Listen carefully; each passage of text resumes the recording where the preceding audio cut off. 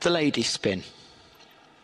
One, two, three, four, five, and back.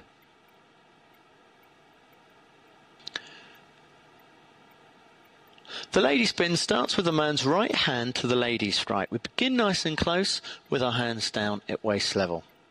You draw a semicircle to the right and we both take a step away.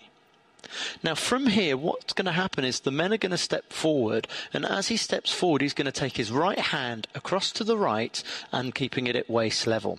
As he does so, so that we don't bend the lady's fingers back, what the ladies are going to do is make a fist so we can cup our hand over the top like a ball and socket.